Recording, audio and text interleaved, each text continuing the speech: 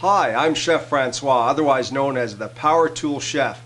I'm here to introduce you a brand new product invented by my friend Eduardo Soares Mason. It's called the Turbo Roaster. And here's the amazing device. Take your jar, add just a little bit of water. Take the turbo roaster and screw on the lid. Nice and tight. This now goes into the oven and as this is boiling the water, the steam is coming up into this channel and it's getting trapped.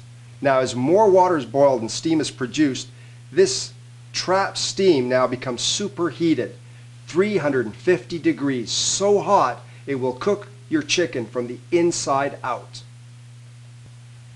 Here's all you need to prepare a perfect chicken with the turbo roaster.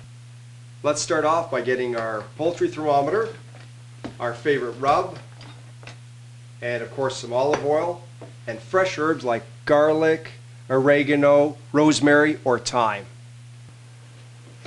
Here I have The Joy of Cooking, probably the most celebrated cookbook in North America. And according to this, a four and a half pound bird will take about an hour and a half.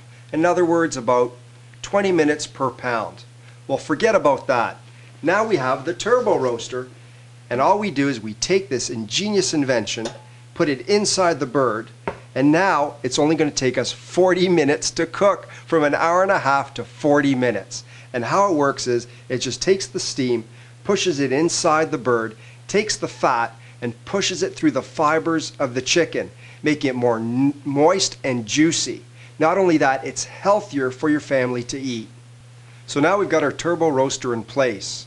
I'm just going to take our thermometer and place it right in between the thigh being careful not to touch the bone. I'm going to preheat the oven to 450 degrees. I'm going to put the whole chicken inside for 15 minutes and then I'm going to turn down the oven to 350 and let it cook and check it again after 40 minutes. That thermometer should say 170 degrees and then our chicken will be done. Okay, so we're ready to go. We've seasoned the chicken, we've put in the meat thermometer, we've inserted the turbo roaster into our chicken, and we're ready now to put this into our oven, which is already preheated at 450 degrees.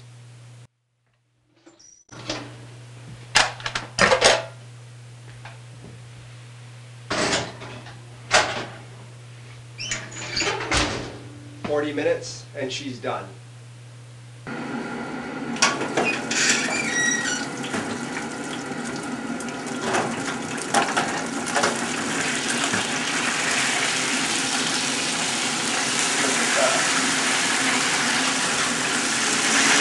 170 degrees.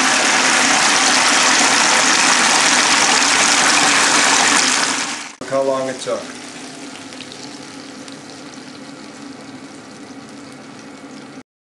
Here we are. After 40 minutes, we've taken this bird out of the oven, and what have we done? We've wrapped it with tin foil in order to allow the juices to settle. Now look at this. Look at all the fat we've collected from under the pan. This is fat you normally would have ingested. Instead, what do we have? We have nothing but beautiful juice from this bird. And thanks to the patented superheated steam that comes out, we've been able to drive all that fat out and give you a moist and tender chicken.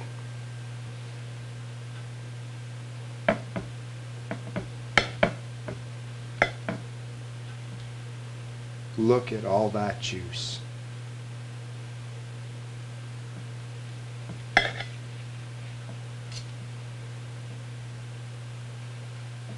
Thanks.